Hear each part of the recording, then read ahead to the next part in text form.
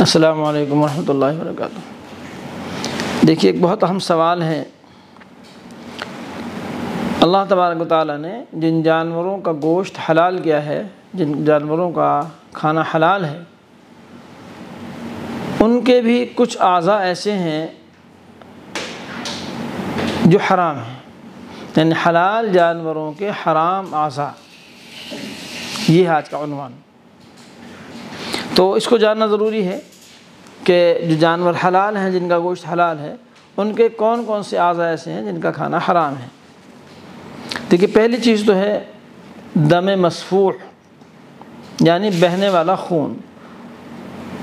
जो खून जो नसों के अंदर बहता है, जारी होता है या ज़बह करते वक्त निकलता है, ये खून नापाक है और हराम है। कपड़े पर लग जाए, कपड़ा नापाक हो जाएगा, जिस्म पर लग जाए, जिस्म नापाक हो जाएगा। इस खून का इस्तेमाल हराम है। खाने के लिए ख़ास तौर से तो बहने वाला जो खून है, वो हराम है। उसको खाने के इस्तेमाल में नहीं लाया जा सकता। दूसरी चीज़ जो हराम है,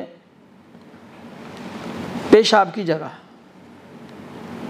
यानी पेशाब की जो नस है जिसको अरबी में ज़कर कहा जाता है, पेशाब की जगह नर और मादा दोनों की। यानी चाहे वो नर जानवर हो या मादा हो, बकरा हो या बकरी हो, पेशाब करने का जो मकाम है, मखसूस जो उज़व है, वो हराम है। तीसरी चीज़ है खुशिए यानी पेशाब की जो नस है, उसके नीचे जो दो गोलियाँ होती हैं, जिसको अरबी में खुशियतैन कहा जाता है, उर्दू में उसको फोते कहते हैं आमतन। ये भी हराम है। बाद जगह इनको दूसरे नाम भी दिए जाते हैं। अब अपने अपने अलग अलग इलाक़ों में इनका नाम होते हैं। ये तीसरा उज़व है जो नर जानवर से इसका ताल्लुक़ है। ये हराम है। चौथी चीज़ है पाखाने की जगह। ये उज़व ये भी हराम है। इसके बाद पाँचवें नंबर पर आता है गदूद। जिस्म के अंदर जो गोश्त है उस गोश्त का कुछ हिस्सा कभी बहुत सख्त हो जाता है, जिसको हम गदूद कहते हैं। गदूद से उसको ताबू, ताबीर किया जाता है। वो भी हराम करार दिया गया, उसको नहीं खाना चाहिए। छठी चीज़ है मसाना। मसाना यानी पेशाब की थैली। जहाँ पेशाब जमा होता है, उसको मसाना कहा जाता है इस थैली के अंदर। वो जो थैली है, उसका खाना भी हराम है। सातवीं चीज़ है पित्ता। पित्ता जो लोग गोश्त खाने वाले और लेने वाले हैं, जानते हैं पिता क्या चीज़ है?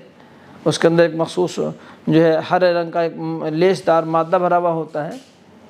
और आजकल तो चूँकि पित्ते के अंदर पथरी की बीमारी एक आम सी हो गई है तो सभी लोग जानते हैं पित्ता क्या चीज़ है। तो ये जो एक मखसूस हिस्सा है गोश्त का पित्ता जिसको कहा जाता है, हलाल जानवरों के अंदर भी ये सात चीज़ें हरा, हराम हैं, इनको नहीं खाया जा सकता, इनको गोश्त से काट कर अलग कर देना चाहिए।